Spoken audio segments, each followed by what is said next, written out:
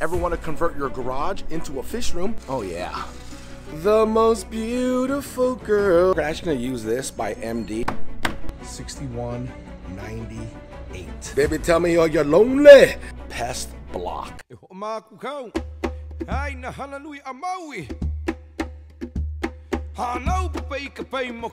Aloha, my ohana. It is your boy back in it to win it. Now, if you're new to the channel, let me be the first to give you a nice big warm aloha and welcome. On this channel, we talk about everything aquatics, whether it be freshwater or saltwater, goldfish and koi ponds, fish rescues and local fish store tours, DIY projects, and product reviews in the hobby. All right, my Ohana, you already know what I'm gonna say, right? I am super excited for this video because you guys were the one who called this shot. Yeah, I actually posted something on my community tab on YouTube, which stated about four different types of videos that I had locked and loaded. And I was wondering and asked you guys which one you guys wanted to see. And by popular demand, you guys voted for Tiki Lounge, my fish room. If you guys ever want to convert your garage into a fish room, follow this video. I'm telling you guys, I'm going to actually make a complete playlist on Tiki Lounge. That way you guys can um, convert your garage or room into a fish room. Let's jump into this one. I'm super excited. Let's go. Okay we got to get out of that wind. It's pretty windy today. Uh, but before we jump in before we get started, I got to give a huge shout out to Majestic Kings. He's a new subscriber, so I just wanted to give you a shout out. Uh, he said he's been watching my videos all week. He said binge watching, so I really appreciate that. He finds it funny, educational, entertaining, and he really appreciates the content. So big props to you, Majestic Kings. I just wanted to give you a nice aloha shout out. And for those of you guys that are new to the channel, this is the perfect opportunity to hit that subscribe button if you haven't already. And next to that subscribe button, don't forget, hit that bell, click it, turn it on. It's a notification bell. It's going to notify you when I upload a new video. And that is it. And it's absolutely free. It doesn't cost you a thing. So, with all that being said, all right, so let's just start from the beginning, Ohana. When converting your garage into a fish room, it takes a lot of work, especially when your garage looks like this. Check out this footage. This footage was probably done about two years ago. As you can see, my garage is just full of every and anything you can think of from aquariums to uh, shoes to shelves to racks to hiking gear, totes, boxes, you name it, it is in the garage. So, what I did was we got a shed in the backyard.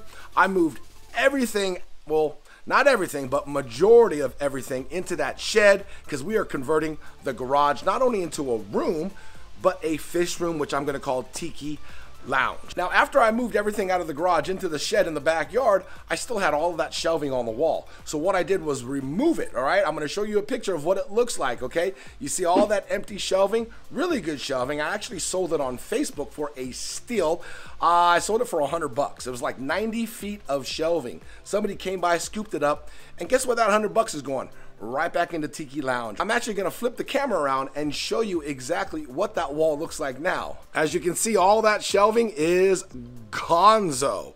So what we did is we started to put up some wainscoting on the wall. So this is gonna be all the way down to the far end there, okay? And what we're gonna do next is insulate the garage door, which is pretty inexpensive, not too expensive. I'll show you what I got and I'm gonna show you how I do it. No big tools involved, really simple to install, I think, I hope. So without further ado, let me show you what I got. All right, so here is the garage door insulation kit. Pretty easy to put on. All you need is like a blade. I suggest getting a long blade. And you can see it just goes in the panels of your garage door. It's a foam and that's where I plan on putting it, right in between each one of those. As I close the garage door, we can see we have one, two, three, four rows of four, so 16 panels total. I hope I have enough in this kit to cut 16 panels worth. And how I'm gonna cut it is with this right here. Yep, this is a blade. It actually extends really long. So you wanna get a really long blade so you can cut straight through the entire foam. All right, so we actually managed to get only half of the garage done. I wasn't sure how much I needed, so if you guys were curious, one of those bags can actually fit a single car garage. This is a double car garage, so I gotta go back to Lowe's and get some more insulation garage paneling. So we're gonna get one more, okay? And I think it was like, I'm gonna say it was like $62, okay? So right there, $62 times two, you know, you're looking at $125, $130 depending on your taxes, all right? So let's get back over to Lowe's. Let's go buy another bag. I'll show you exactly where I got it and how much it is. Come back here and uh, yeah, get it done. We're here in the insulation section at Lowe's. Yeah, I know it's Lowe's. It's not Home Depot. Uh, this is actually where I'm getting the garage insulation panels. Here it is right here. There it is. Insulfoam. So we gotta come back and get another one. And just so you know the price, 61.98. That's the price, guys. So we're gonna go ahead and grab this bad boy, load it up, and uh, finish the garage. So I didn't do this on the first time I cut them. I just wanna show you, I just get a measuring tape. We're gonna mark it with a Sharpie. And then um, I got a piece of wood that we can make a really straight line with. And then we just cut it with the blade, all right? Super simple to do. Like I was saying, we just made our marker. I got this piece of wood here that goes pretty much the length of the board. And we're just gonna line up uh, right there, make sure it's level all the way across. And then we're just gonna draw our line right across this and then cut it off. This is the type of blade that you want. You want the one that is a real long blade so it shoots out and it goes all the way through when you're cutting it, you know? So we're gonna go ahead, right at the line, line it up and cut. Also, when you cut this, guys, make sure you cut the plastic facing up. That way, when you make the cut, the first cut you make is going through the plastic. And if you were to cut it this way and cut down, you might not be getting the plastic at the end, you know? It just reassures that you get this plastic coating part first. And the reason why they have this plastic coating on it, it's so that you can bend it and flex it a little bit. It won't crack on you, you know? Um, especially when you're placing it in the panels, all right? Just to give you a heads up. That's why they have it, uh, this plastic piece on here. So it's pretty smart and brilliant the way they did this. So now that we uh, have this cut to fit the size, we're just gonna use this as our template and cut the rest. Boom, and voila, Ohana, just like that, we have the entire garage door insulated, huh? Look at that, baby steps, guys, baby steps. Yep, super easy to put together. Like I said, it was like, what, $61 each. This is a two car garage, so we needed two of uh, packages of the uh, garage insulation. Anyways, it's coming together. All right, Ohana. So basically what I'm doing is closing the garage door. I'm going to tell you what I'm going to be doing next. Now, as you can see on the bottom there of the garage, pretty tight seal, right? Yep, all the way down. I'm basically gonna turn these lights off so you can see what I mean, especially when it comes to the door here. I kind of turned the lights off. It's a little bit of light in here, but uh, you can actually see what I mean by the door. Obviously, under the door, basically, that's huge. And then you see along the whole door there, you can see the sunlight coming through. That's what we gotta try to eliminate to try to keep the, keep the garage temperature controlled. All the way at the top, and I have a bad angle, but all the way down the side of the door there too as well all that light coming through. We're gonna basically eliminate that to help keep the garage insulated. So let me show you uh, the items that I got to do this and maybe you guys can do this to your door too as well. Pretty simple, inexpensive too. So for starters, check it out, it kills bugs. I don't know if the name brand is MD, but it's an underdoor seal. I don't know if the name brand is Denai or Denny, whatever that is. Uh, the color is kind of a dark mocha brown. I was just like, eh, whatever. They didn't have black or white. So non-toxic, child and pet safe, kills bugs for life of vinyl seal. And then right here it says easy install. You just slide it on. You don't need to drill holes or anything, right? No drilling, no screws. Vinyl with vinyl fins. Adjust to seal, which is really cool. It shows you the gap. It fits an inch and three quarter door. Compression fit holds firmly in place. That's all you need pretty simple. So just wanted to show you guys exactly what I got. This is it right here. So you know, pretty cool. Just grips to the door. Um, I cut it with a hacksaw, so I got my hacksaw right here. Pretty simple, cut it, it, it kind of hung out about maybe three inches. So I just cut that piece off pretty clean cut. And then we're just gonna slide it on to the door. All right, Ohana, now that I'm here on the ground, I'm just gonna go ahead and open up this little vinyl sleeve and kind of put it on and get it to the right height that I want because it's pretty much to grip the ground. So I'll go ahead and pull it down just a little bit and then we're just to slide it on. Look at that. Keeping it keeping it somewhat low because I want it low to the ground. I don't want it high because we want that gap filled. I'm actually just pushing it with my hand and you'll see it come into frame here in a second. Um, let me show you here on the ground how I have it when I mean low as possible. You can see it right down there. It's like almost dragging.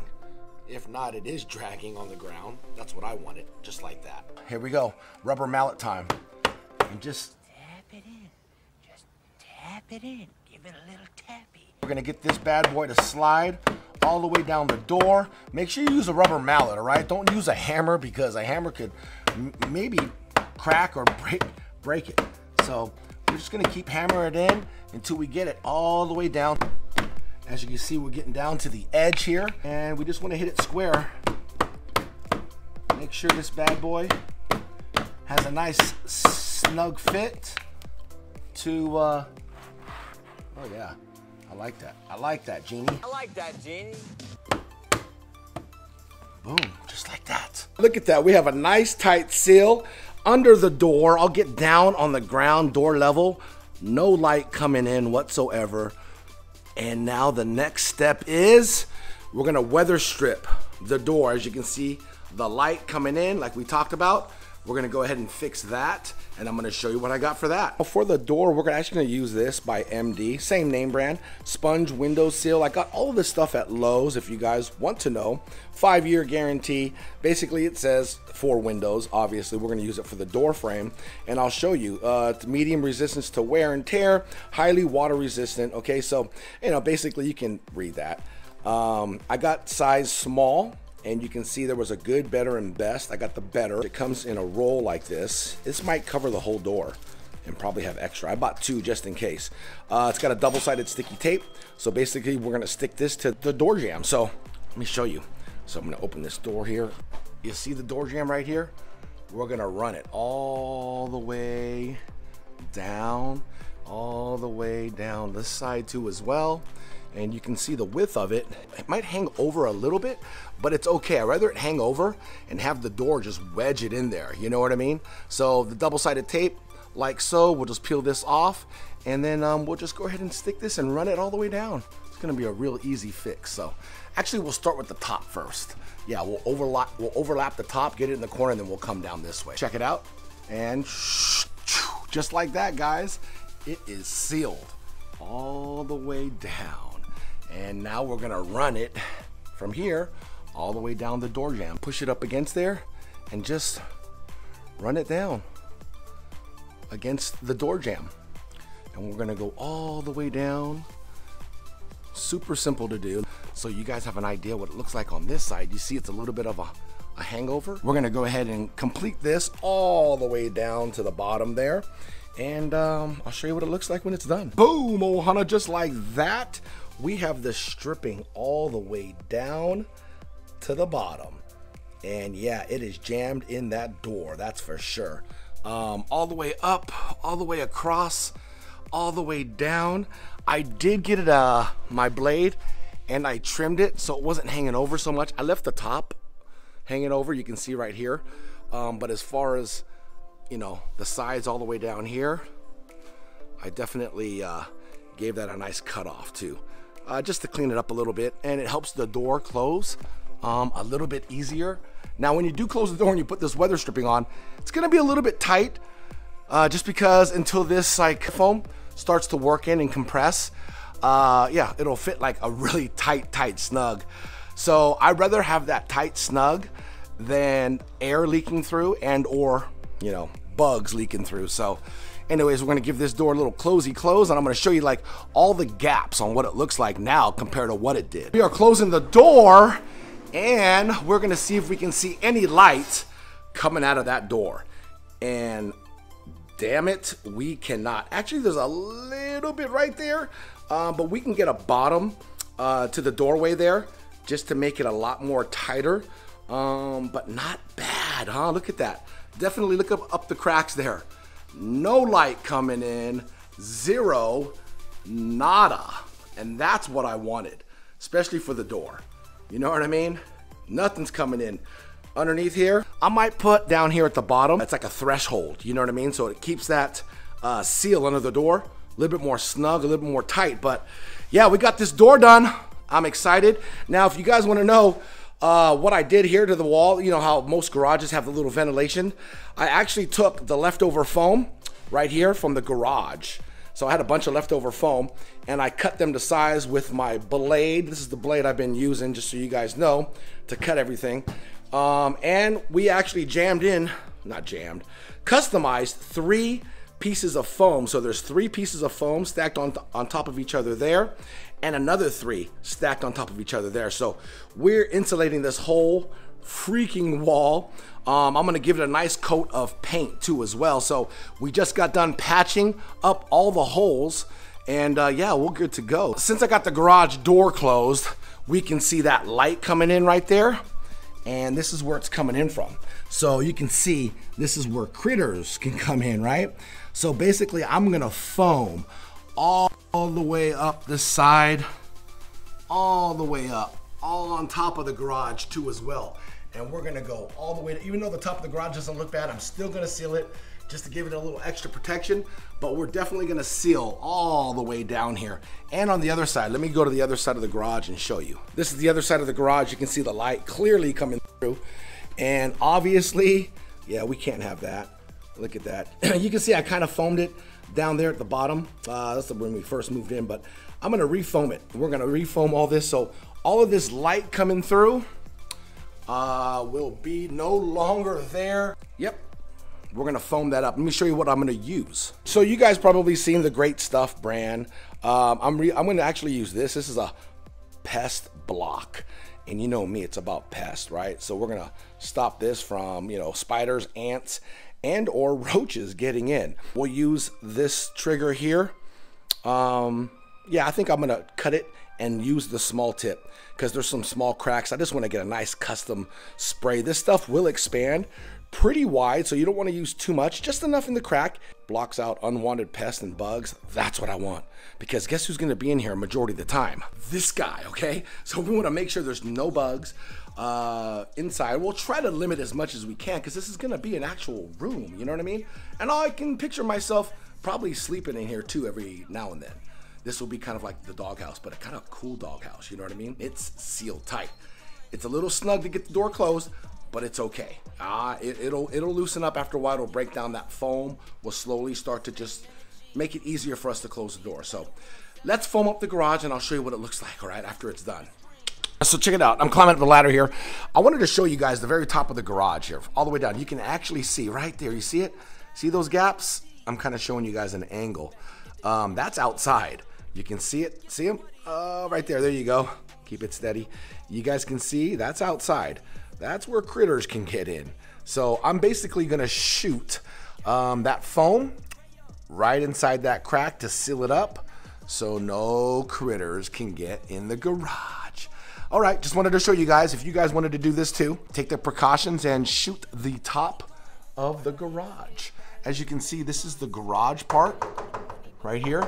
So this is the part that's gonna move and go up, and then this is a wood base. So as long as you shoot it in the crack, it should be perfect. You don't have to worry about it hitting the garage door and like messing the foam up or anything. So just thought I'd give you guys a heads up what we're gonna do and I'll show you guys what it looks like when I'm all done. So I'm basically just foaming up the sides. I'm just running it right down the line here as you can see. Pretty simple to do. It expands so you don't really need much. Um, this will expand right into the gap. But as you can see, Look at all the way down. See those little spots there where you can actually see the light coming through? Uh, that foam will actually foam up and pretty much cover it up. So I'm not worried about that. So you can see the light. We're gonna let this expand and um, we'll come back to it and see how it looks. This part should be pretty easy. We're just gonna run a bead of foam all the way down in this crack. Pretty easy. See that? Oh yeah. Oh yeah. And just like that, we have it foamed all the way down. Now on this side over here, remember, there was some light shining in over here. Well, there is some light. It's not totally airproof, but you can see we pretty much got it all in. I'm okay with it. You know, you can't make it totally airtight or airproof. I was trying to make it insect proof. Probably won't happen when you got a garage unless I don't want to use my garage and I totally just make this a wall or something, which isn't gonna happen. But you can kind of see there's a little bit of light coming through, but you know, hey, what are you gonna do, right? So, anyways, just wanted to show you guys what it looks like. If you are gonna plan on foaming in your garage door, um, as you can see, this little slit right there, it will stick to your garage door and will keep it from opening. So what you need to do is just get like a blade, slide that blade in there and just go right down the line. It kind of breaks the seal from it sticking uh, to your garage door. So that's what I pretty much did. And uh, yeah, that way the garage door can open and whatnot. So as I open the garage door here, I'm gonna show you guys what it looks like. So, you know, it's pretty much going all the way up, all the way down. And when the garage door closes, you can actually hear it kind of sliding across this, which I don't know, it's comfort, comforting to me because it feels like it's going to be like a nice seal as it's rubbing up against this um, foam. But I just wanted to show you guys what it looks like as far as the garage door goes um, with the garage door open. Your boy went foam happy. As you can see, I foamed up all the way down that, you know, border there the concrete and the wall. I really don't want anything getting in here, even down over here.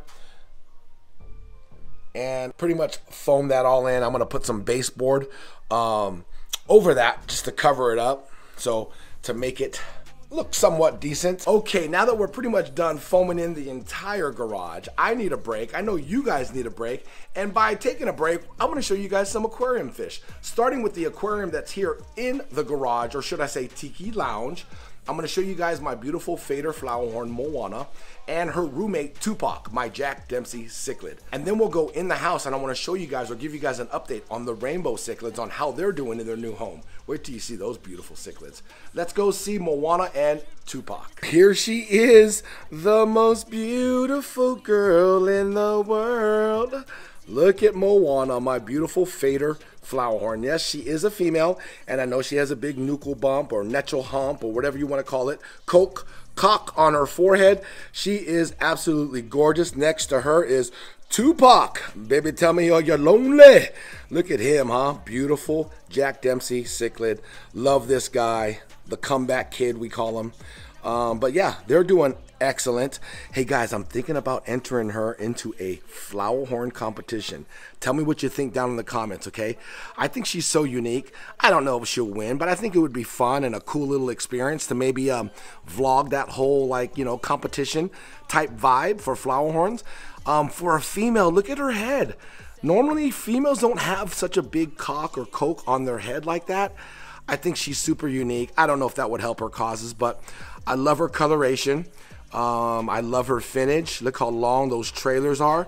And I think she's, um, I don't know, I think she's competition ready, guys. Tell me what you think, all right? Um, other than that, let's go inside the house and check out the rainbow cichlids. See you later, girl. So here we are. As you can see, everybody in here. The Geos are doing great. Uh, look at the Tiger Oscar and look at these three beautiful rainbow cichlids. Look at them, huh? The colors, the yellow, the beautiful orange red eyes. These guys are amazing. I got these guys from Nolan's Aquarium. Shout out to Nolan's Aquarium again and again. This isn't going to be their forever home here. Um, but they're all doing great though. If you guys are interested in a beautiful, colorful cichlid, and they also don't get very big, a little bit on the smaller side as far as cichlids go. Um, but I love their color, their pattern beautiful. They almost look like bumblebee cichlids in a way. Um, but yeah, just a gorgeous looking cichlid, huh? The rainbow cichlid, guys. Don't forget, rainbow cichlid. And go check out my boy, Nolan's Aquarium. He ships anywhere in the U.S., guys anywhere in the U.S. I hope you guys enjoyed that little fish break. You know, I figured I'd throw you guys a bone. Throw me a frickin' bone here. I hope you guys enjoyed, I guess you can say, the steps or the stages of Tiki Lounge, the new fish room here in the garage. We took the initiative and we actually got in here. We did all of the foam work down in the cracks and the crevices here. We got the door jamb down there. We actually sealed it all the way around the frame. We're making it as temperature controlled and insulated as possible. And of course, we can't forget the garage door right up there. the panels that we installed, super simple, relatively cheap. You know, it wasn't an expensive uh, upgrade, um, but you know, it gives you guys some ideas if you guys wanted to do something like this. So, hope you guys enjoyed this video. I will see you guys on the next video. Enjoy your day, enjoy your week. Aloha. Ano pay ka pay mo ko hawa ihukia ela imana ya kalani Ano pay ka pay mo ko hawa ihukia ela imana ya kalani